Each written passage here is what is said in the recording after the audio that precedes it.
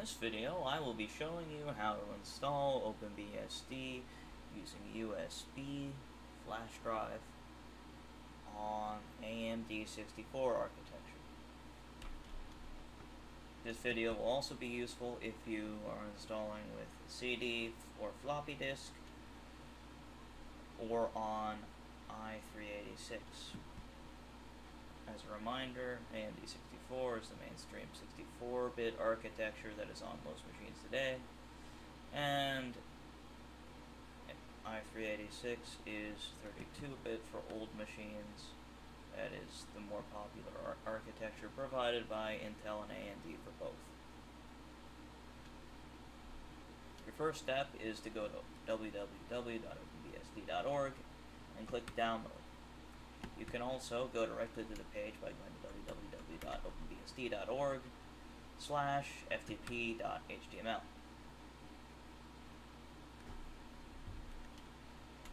There are three methods to getting the files. The first is with HTTP, the second is with FTP, and the third which is with rsync. rsync is for maintaining a copy of the files on your own server. You don't necessarily need it, and most people don't even want it. HTTP is uh, a way of getting files that only requires a web browser. On Linux, you can also use the wget command line utility.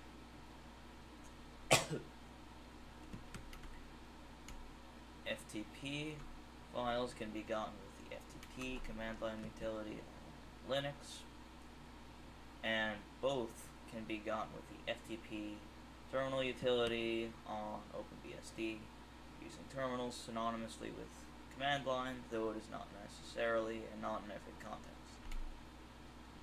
Choose a mirror that is near to you. I live in the United States, so I will choose that mirror.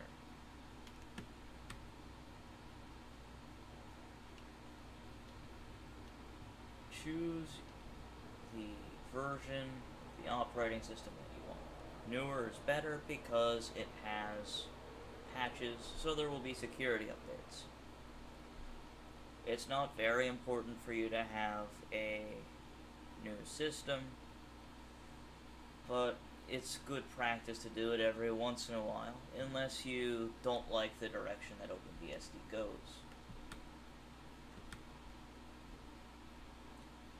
Choose your architecture. In this tutorial, we'll be using AMD64,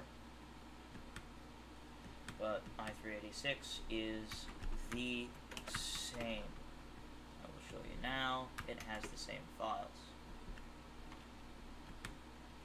Other architectures may be very different or different to varying degrees. But these two are the best supported.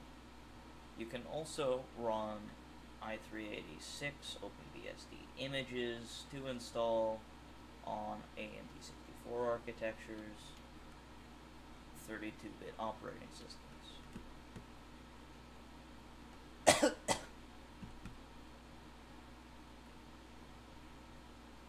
Download the SHA-256.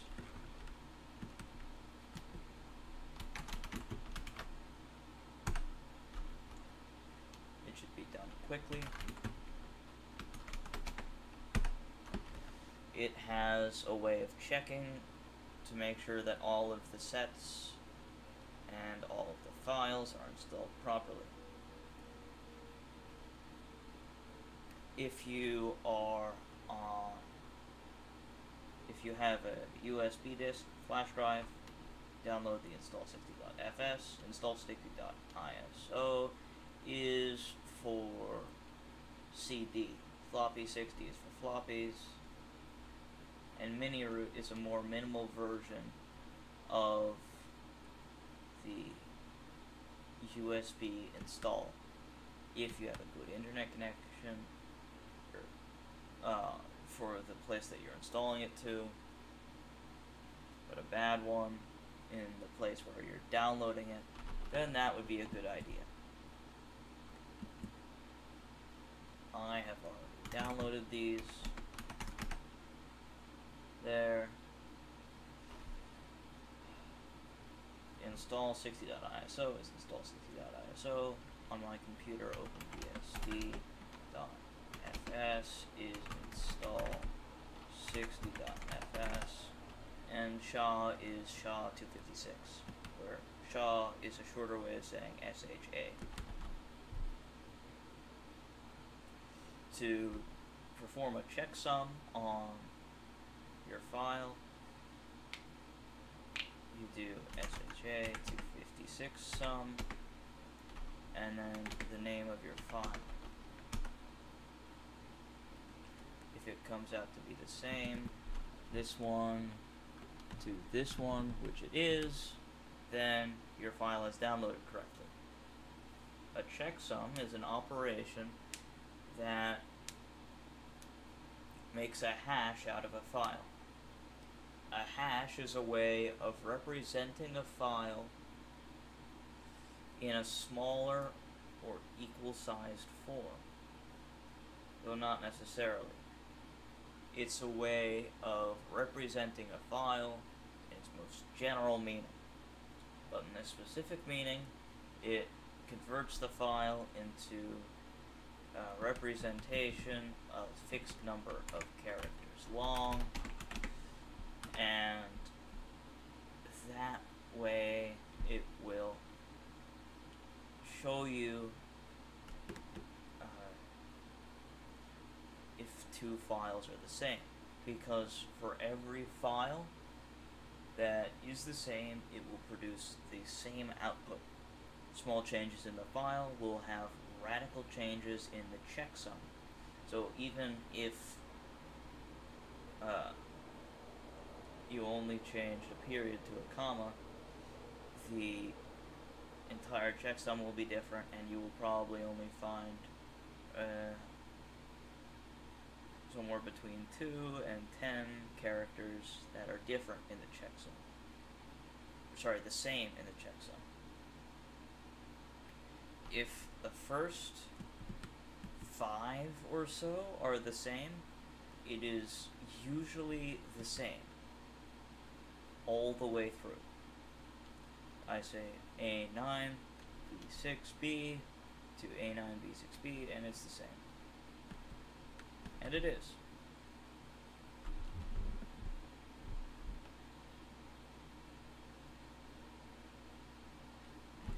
Well, now we've installed, or just downloaded all of the files properly.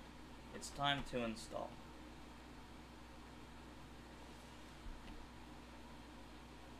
I will be using QEMU, which is an emulator. I recommend that you emu emulate OpenBSD before you try. I do not mean emulate in its purest sense. The correct terminology would be virtualize, but I use the word to appeal to a broader audience.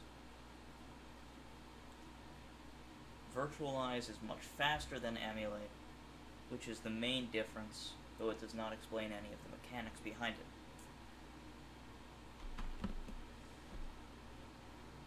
QEMU is one virtualizer, though there are many. It is my favorite, so I will show you how to use this one.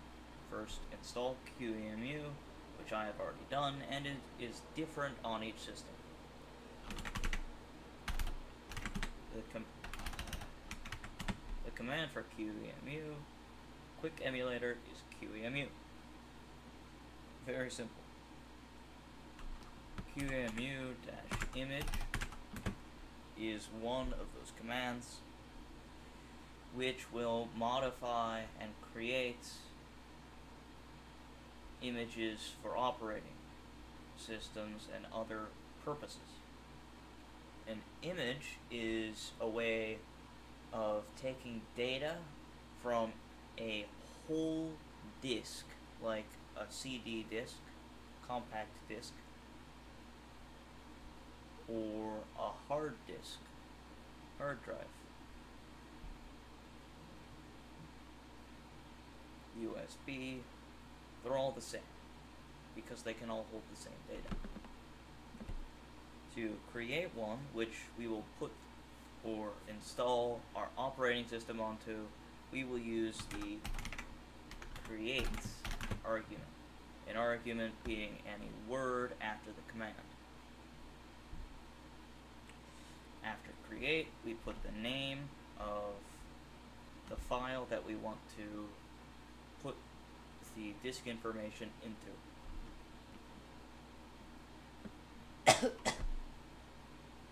I will call it OBSD dot image because it is short for OpenBSD, which is a good file name. Then you want the file size. Uh, G is for gigabytes, K is for kilobytes, M is for megabytes, and unprefixed, you may use bytes. Let it run, and it will create your hard drive.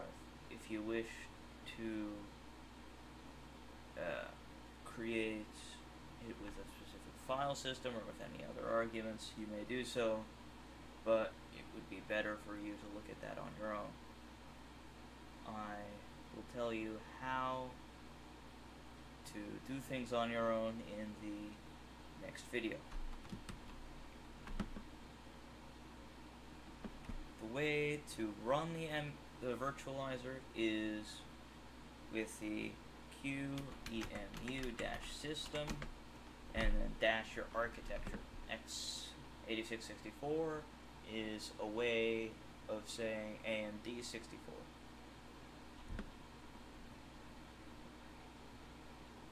Though you may replace it with whichever architecture you are using.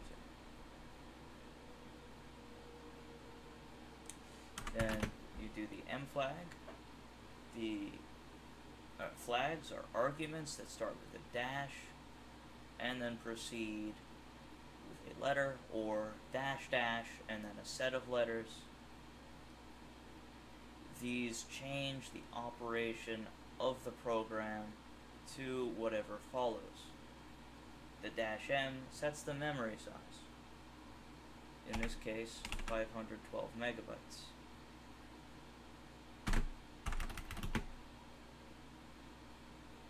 And to do it again, we can do dash boot in irregularity because usually multi-character flags have a two dashes before them rather than just one.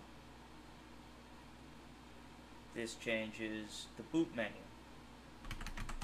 Menu equals on will tell it to turn on the menu. The flags on every command are completely different and they all take different arguments.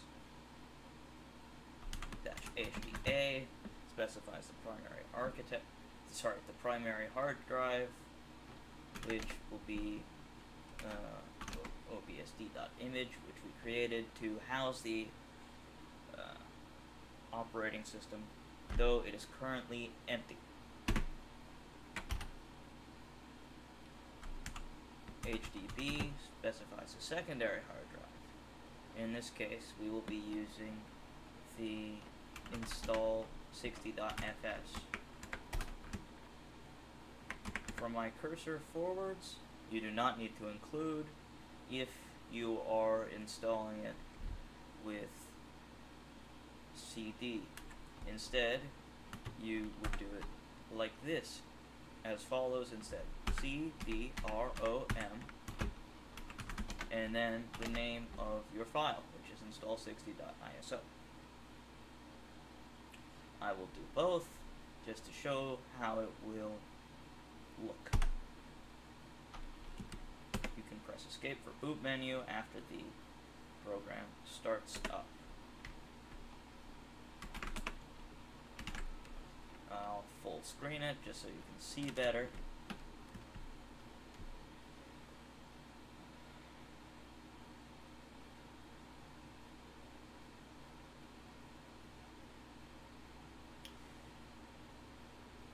You're in. It this is what it looks like when it works. It is booted and you have selected uh, your install media. On any other system, this would be exactly the same as hitting escape or one of the F keys being F1 through F12, which depends upon which machine you use after it turns on. And then selecting your USB or CD device. In this tutorial we will be doing the plain install, for which you do I. Uh, use the US keyboard layout because in some parts of the operating system you will be restricted to certain keyboard layouts because multiple locales have not yet been implemented in those parts. If you uh, do something wrong during any part of the installation, you can do Control C, which will stop it.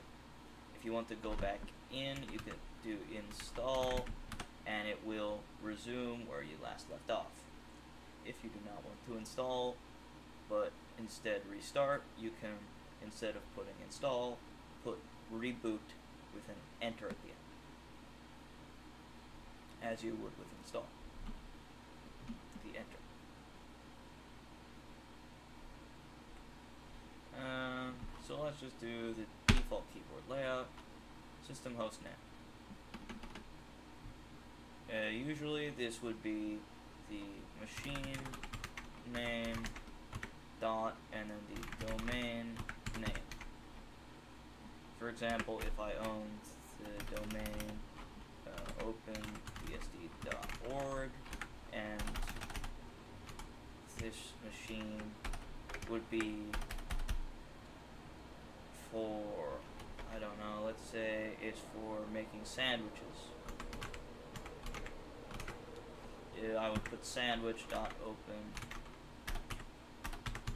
bsd.org and that would be the name of my computer. The reason this is, is because it makes reverse DNS easier. If you do not have a domain name, don't do it. You won't break too many things if you put uh, just a one-word domain name. So I'm going to do a tutorial just to show you that it's fine, just not recommended. Now this computer is called tutorial. You're going to get a bunch of interfaces. Wi-Fi doesn't really work in the installer, so you should pick an Ethernet device because it makes eh,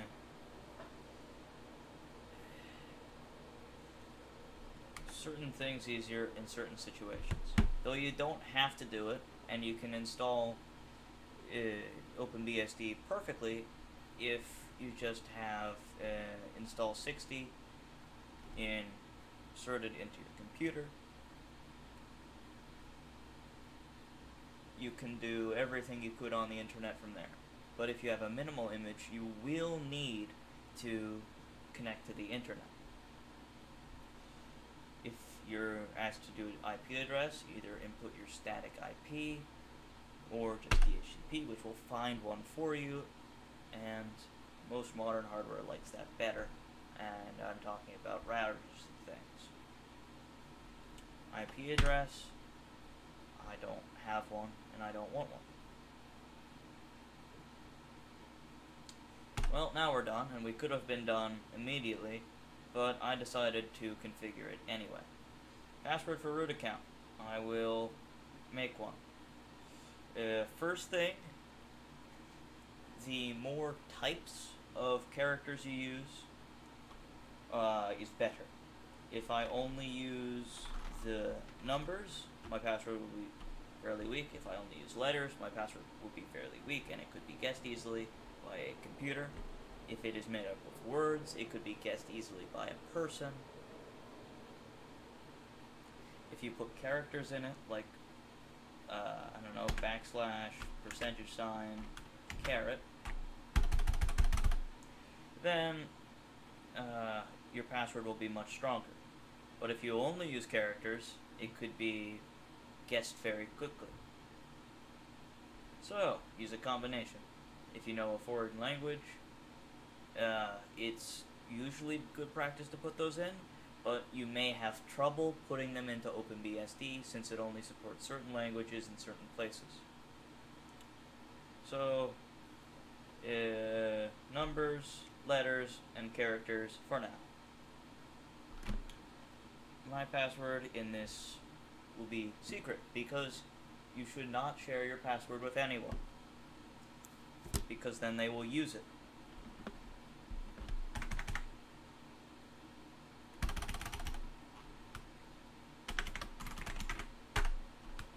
You will be asked for it again. Please input it again, exactly as you had before. This is to confirm that you typed it properly. I do not usually, so this is a surprise to me. If I did not, then it would prompt me again. SSHD by default. Unless you're going to use SSH, the answer is no. I may want to use this computer over the internet or for demonstration purposes.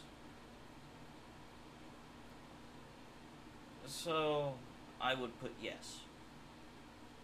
But I, uh, I would likely demonstrate on a different machine. It is better to have less things exposed to the internet so less people can get into your system. So, I'm not going to start it by default. And unless you're running the X Window system, you should not use it because it is big and slow and difficult to use. I will use it because I will need to demonstrate. XDM, it, it will provide you with a login screen at startup that will let you go into your uh, graphical desktop environment. I will say yes, because I expect most of you will want a graphical interface so that you can run your web browser. I'd recommend that you do because it's very, very easy. If you don't, then you'll just log in by typing in your username and password without a graphical prompt. It'll be text, and it'll be the same. You just won't have any fancy windows to use. Uh, the first part of the tutorial will be almost completely using plain old terminal commands. No fancy windows. Uh, if you have a serial console, which you likely do not, then you may use yes, which will allow you to plug in your serial console to your computer and use it. I do not have one, and I do not have a port for one, so I will not use it. A user. Yes, you do. Uh, the OpenBSD install process is optimized, so you have to press the enter key as few times as possible. So this is not a yes-no question. If you want to set up a user whose name is yes or no, you will have to do it later. Uh, I will call my user tutorials because that is the name of the channel. Then I will want a full name. So I will put in my full name. Uh, and then a password. And put it twice, like before, secure as well.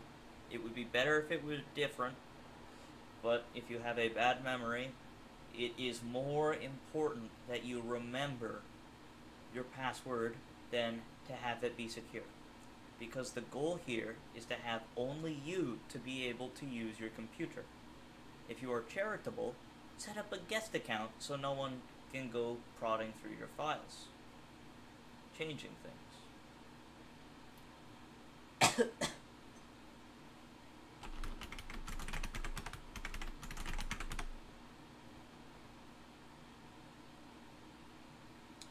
Time zone. Choose your time zone. Question mark for list. It will show you. Uh, let's do America because I live in America. And sub-time zone. Uh, I'm in New York.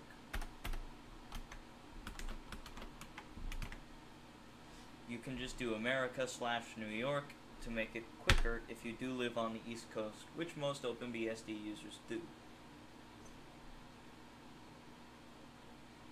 Available disks. Which one will be the root disk? You do want to put a question mark here to examine. Let's see. I do distinctly remember making the OpenBSD install disk 69 gigabytes. So, I will use that one. Uh, type in the disk name, press enter, and you get to it. I didn't format it, so let's do it.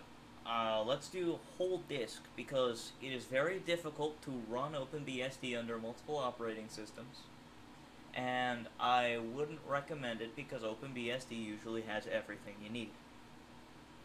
If it doesn't, you can usually install it.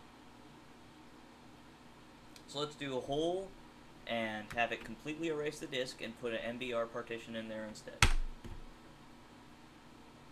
Let's do it automatically so that it will decide for me how it will do it. As I said, this will completely erase the whole disk. Uh, this is the part that actually erases the whole disk. You can say, uh, uh, the, the, the previous command will only happen in certain cases. Sorry, no, the previous prompt where it will ask you what partition table, MBR, GPT, or edit you would like will only happen if it cannot detect a partition table, which is usually broken hard drives and hard drives that are clear.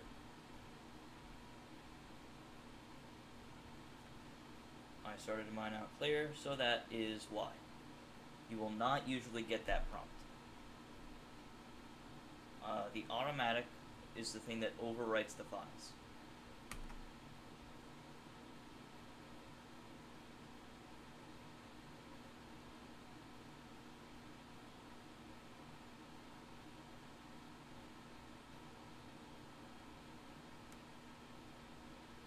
This takes a while because it goes through your disk, setting things up, making them exactly how they should be, being according to the table on the screen right now. Let me walk you through what all the things are for. Slash, which is the first line after the pound under auto-allocated layout. It should be a colon the size, which is very small. It's only for storing other directories, and it will show a slash. This holds all your other directories. Temp is temporary, sometimes it's in RAM, sometimes it's on disk, and it only holds files for a small amount of time and will completely clear on reboot. Var and user are for files to do with your operating system, and home is where all of your user stuff will go.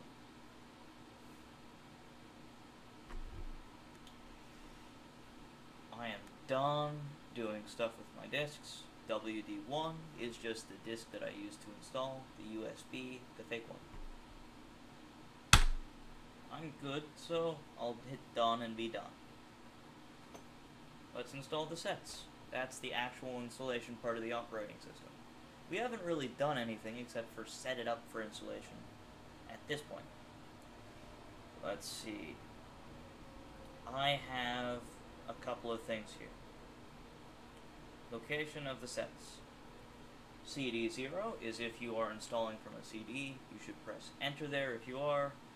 Disk if you're doing a disk, like a USB disk. And HTTP if you are installing from the internet like if you use a minimal install. Make sure you're plugged into the Ethernet and you've already configured it. Uh, we're going to use disk in this example. But you may definitely use CD0 if you have a CD plugged in. Is the partition already mounted? Uh, no, it technically is because we already have the drive mounted, but we don't have the specific partition mounted. It is going to be in WD1. Which is in partition A, the only one that's useful. MS-DOS, in this case, is for booting the disk to make sure that it knows how to boot it, the computer. Uh, path name, it's the right one by default. Which ones do you want to install? Yep, you want those. You don't have to install the X sets, being the one that start with X, if you don't want to install X11, which is graphical stuff. If you said no to starting an X server by default or including X stuff, then you want to say no to those there.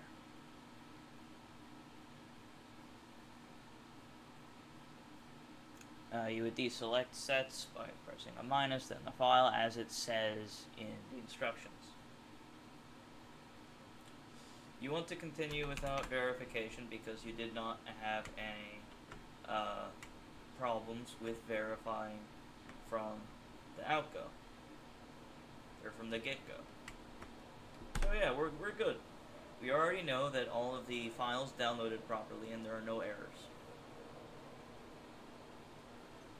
a bank or something. There they go.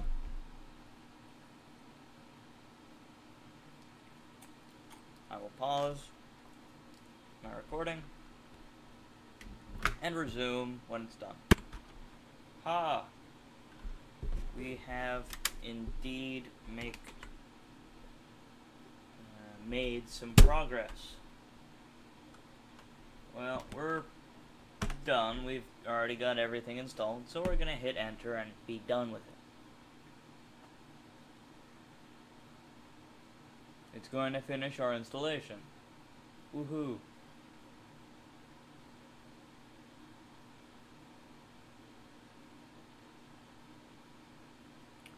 Now, you want to type reboot at the prompt. Everything else is for the next video.